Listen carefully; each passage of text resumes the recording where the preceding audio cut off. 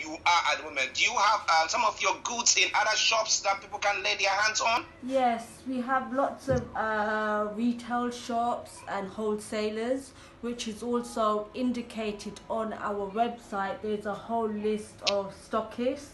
So if you don't want to come directly to us, there's you know um, independent stores and wholesalers which are more convenient to yourself so sometimes we understand that you know it's difficult to come to us directly because we might not be situated in the right location, but we have location retailers where you can you know contact contact them directly for all your um, African groceries or needs or you know ingredients that you may need. Um,